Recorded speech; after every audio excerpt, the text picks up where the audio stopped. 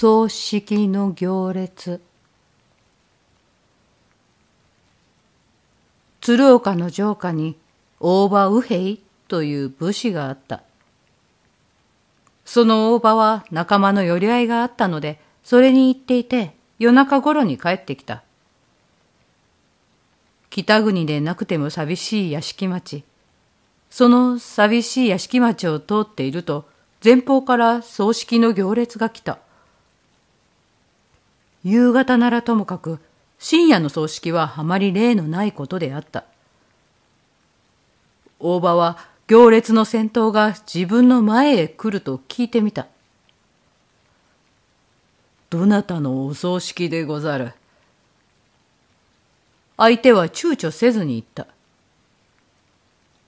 これは大場右平殿のお葬式でござる。何？大場右平そうでござる。行列は通り過ぎた。右平は気が転倒した。そして家へ帰ってみると、玄関前に焚き火をしたばかりの跡があった。それは葬式の送り火であった。大場はその晩からブラブラ病になって、間もなく送り火をたかれる人となった。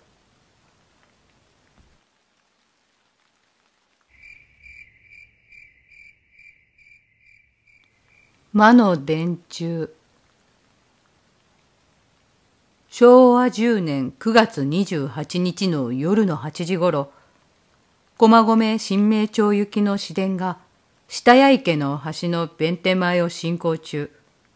女の乗客の一人が何かに驚いたように不意に悲鳴を上げて逃げ出そうとでもするようにして上半身を窓の外へ出したところでそこにあったセンターポールで顔を打って混沌した。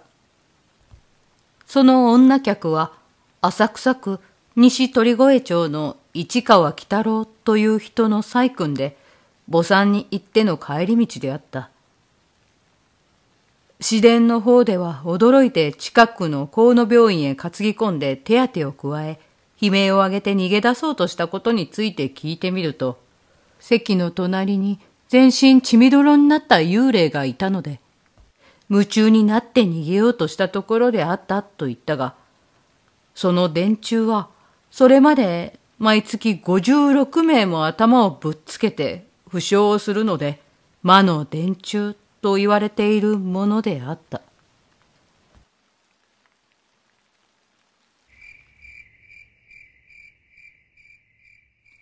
張ってくる紐。ある禅寺に若い美男の僧があって、付近の女と関係しているうちに、僧は自分の飛行を悟るとともに大いに後悔して、田舎へ行って修行することにした。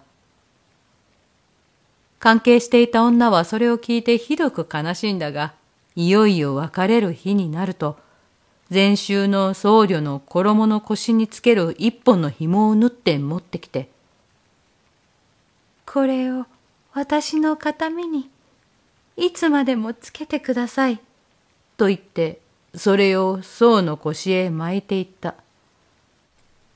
宋はそこで出発して、目指す田舎の寺へ行ったが、途中である一軒の宿屋へ泊まった。そして寝る時になって、衣を脱いで帯と一緒についたてかけて寝たが、しばらく眠って何かの拍子に目を覚ましてみると、有明のランプがかすか暗く灯っていて、部屋の中はしんとしていた。その時、何か物の気配がしたので、ふと見た。今までついて手にかけていた紐がぼたりと落ちたが、それがそのまま蛇のようによろよろと張って寝床の中へ入ってきた。そうはびっくりしたが、紐はやはり紐で別に蛇にもなっていなかった。しかし、不思議は不思議であるから、翌日になってハサミを借りて、その紐を立ってみた。紐の中には女の髪の毛を詰めてあった。これは明治37、8年頃、田島金次郎沖縄が永山に行っている時、ある二層に聞いた話である。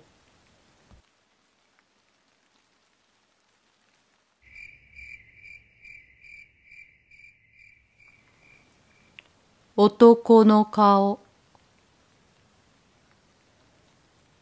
季節はいつであったか聞き漏らしたが、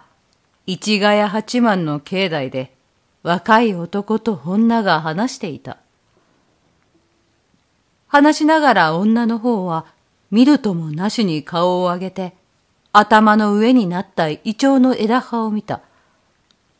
すると青葉の間に若い男の顔があってじーっと女の顔を見つめた。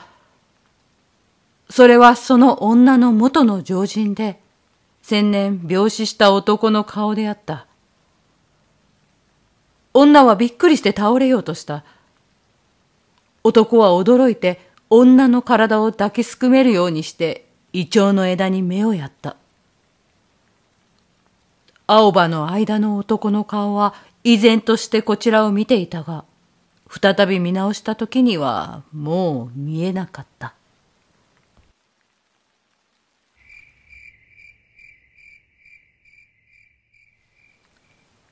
赤い牛長野県の上田市にある上田城は名称真田幸村の居城として知られているがその上田城の堀の水を明治初年になって変え干そうということになった。そしていよいよその日になると付近の人々は好奇心に駆られて早朝から手伝いやら見物やらで押しかけてきた。その日は朝からカラッと晴れた好天気で、天候も初夏らしく暖かい日だったので、人々はお祭り騒ぎで替え干しを始めた。そのために作業はずんずんはかどって、水が減るに従って大きな鯉が踊り上がったり、大ナマズが浮いたりして、堀の周りには至るところに歓声が上がった。その日、私の父も面白半分その手伝いに行っていたが、正午近くなって堀の水が膝の下ぐらいに減った時、父の周囲にいた人々が異様な声を立てた。見ると、父のいるところから三軒ばかりの前の方に当たって、ひとところ水が一間半ばかりの円を描いて渦を巻いてた。なんだろう、と父が思った瞬間、ものすごい水温を立てながらその渦が盛り上がると思う間もなく、全身真紅の色をした動物が半身をあらわにした。それは額に太い二本の角のある大きな牛であった。人々は驚いて逃げ出そうとしたが、牛の方でも驚いたのか、堀から駆け上がって、千曲川へ飛び込み、矢のようにその流れを泳ぎ渡って、小牧山を乗り越え、それから須川の池へ身を隠してしまった。今でもその飼い干しの時に現場へ行っていて赤い牛を見たという人がある。私も少年の時によくその話を聞かされたものだが、どうしても信じることができないので、作り話だろうと言って父に叱られたことがある。私の父はいい加減なことを言う人でないから、もしかするとカバのような水生動物であったかもわからないと思うが、それにしてもカバが日本にいるという話を聞かないので、どうにも解釈がつきかねる。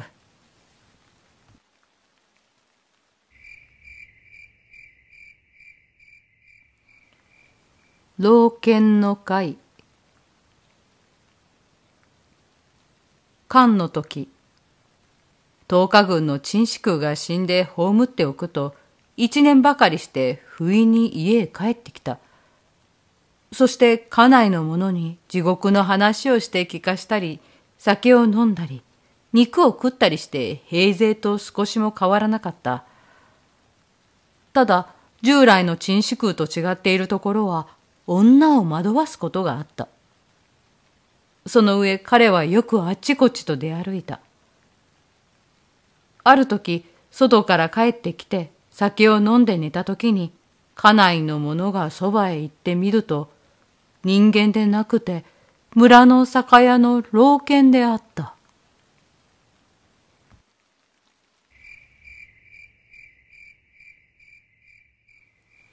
通り魔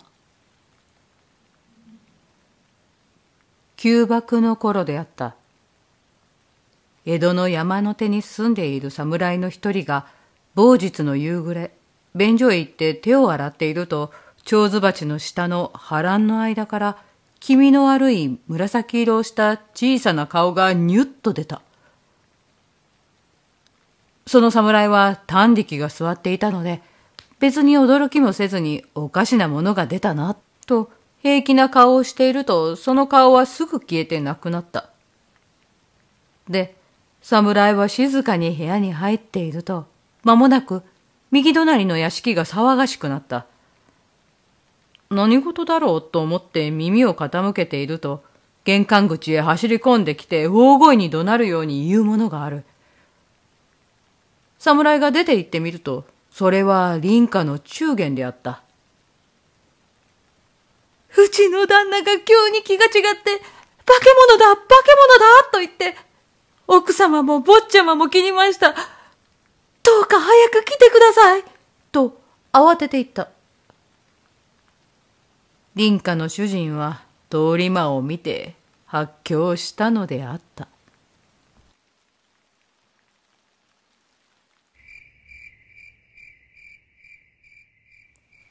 亀の子を握ったまま岩手県の北上川の流域に亀ヶ淵という淵があったがそこには昔から大きな亀が住んでいていろいろの怪異を見せるというので夜など行くものはなかった。その亀ヶ淵の近くに小学校の教員が住んでいた。それは伝兵衛という中年の男であったが、それが初秋の頃、夕飯の後で北上川の網打ちに行って、あちこちと網を入れてみたが、不思議に何も取れなかった。伝兵衛は量のない腹立たしさと酒の酔いもいくらか手伝ったので、そんことは迷信さ、と言いながら亀ヶ淵へ行った。空には夕月があった。縁の一方の水際に従来気のつかなかった大きな岩があった。伝兵衛はその岩の上へ上がっていって網を投げたが、その網にはたくさんな魚が入っていた。これはものすごいぞ。伝兵衛は大喜びでそれを腰のビクへ入れたが、ビクは魚でいっぱいになった。魚がビクにいっぱいになれば、その上網を打つ必要もなかった。伝兵衛は網を畳んで帰ろうとした。と、上がっている岩がぐらぐらと動き出した。ああ伝兵衛はびっくりして岩から飛び降りるなり夢中になって走ったが、その夜からひどい熱病になって、亀が来た亀が来たと言っていたが、数日の後、歯を食いしばり、ぎょろりとした大目を見開いたまま死んでしまった。この伝兵衛には、良平という一人の男の子があって、小学校の2年か3年であったが、それから二月ばかりして、それが勇敢にかかって、ぽっくりと死んでしまった。女房のお千代は重なる不幸にすっかり逆上して、良平や、なぜ逃げるんだよお待ちよと言ったり、時とすると、亀亀大きな亀だと言って、夜となく昼となく、その付近を狂い歩いていたが、ある日、村の農夫が亀ヶ淵へ行ってみると、そこには青ずんだ水の上にお千代の死体が浮いていた。しかも右の手には亀の子をしっかり握ったままで。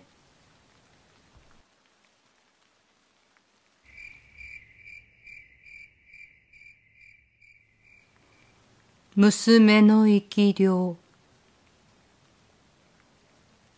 ある相場師の娘が父親にねだって買ってもらった着物を知り合いの裁縫師のところへ縫わしにやった。何しろ相場で巨万の富を積んだ家のことであるから、その着物も金目のかかった立派なものであったろう。また、そうした着物であるから、期日も急ぐので、裁縫師は他の仕立て物を後回しにして裁縫に取り掛かったが、期日が翌日の朝になっているので、その夜は一時近くまで仕事をして、やっと縫い上げたところで客があった。裁縫師は夜遅くなって誰が来たろうと思って入り口の網戸を開けると、それは相場師の娘であった。おやまあお嬢さん、娘は艶のいい顔に微笑みを見せた。明日の朝までにどうかと思って見に来たのよ。やっと出来上がったところでござんすの。そう。裁縫師は娘を上へ上げて、御座の中に包んであった彼の着物を取って見せた。すると娘は、ちょっと、と言ってそれを着るなり、ずんずんと表の方へ出ていくので、裁縫師は驚いて、まあ、お嬢さんと言って呼び止めようとした。と、娘の姿がなくなって、その着物ばかりふわふわと崩れるように下へ落ちた。裁縫師は不思議でたまらないので、朝になるのを待ちかねて、相場師の家へ行ってみた。相場師はその夜に大柄を食らって、その夜のうちに夜逃げをしていた。それでは、裁縫師はそこで娘の着物に対する執着を知った。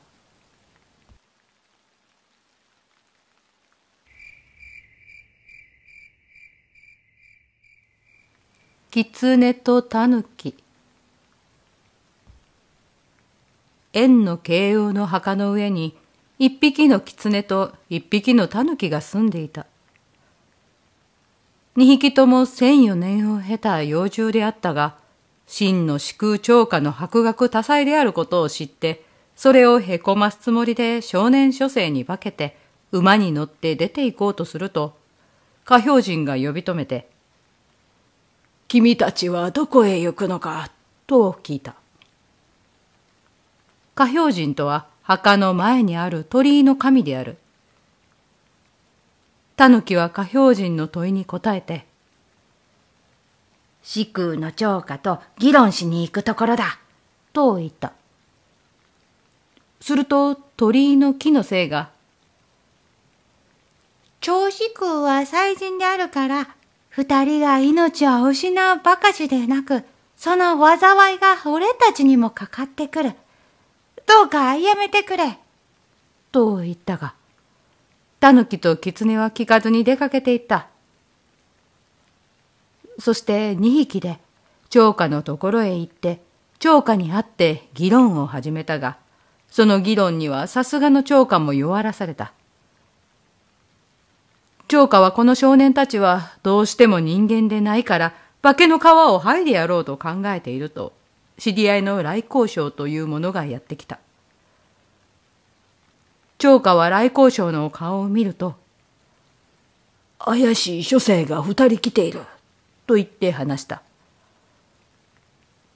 来光省は、君は国の棟梁で賢者を進め、不祥者を退けている人じゃないか。